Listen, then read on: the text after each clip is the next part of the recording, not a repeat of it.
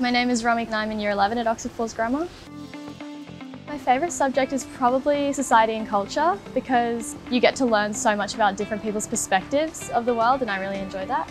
Also there's a bit of public speaking in the subject so I think that can prepare you for future situations where you might need to step into a leadership position.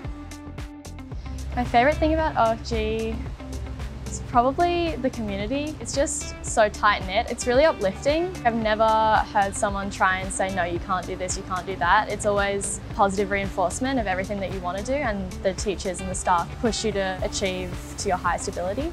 Also the relationships that you have with teachers, even junior school teachers that I had in the past, I can still talk to them and they ask me how I'm going and they're still genuinely interested in what I'm doing.